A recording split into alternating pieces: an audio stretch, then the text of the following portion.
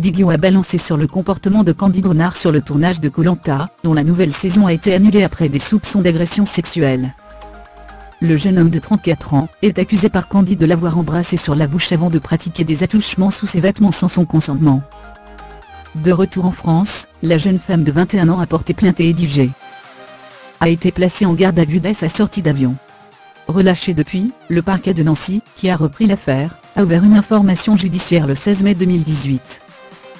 Dans l'émission Touche pas à mon poste, un candidat de cette saison est venu ajouter de nouveaux éléments à l'enquête en apportant son soutien au présumé agresseur.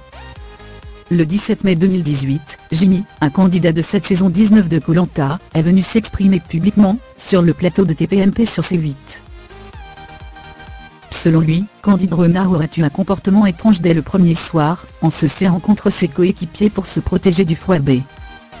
J'ai eu un petit épisode avec elle la première nuit qu'on a passé ensemble.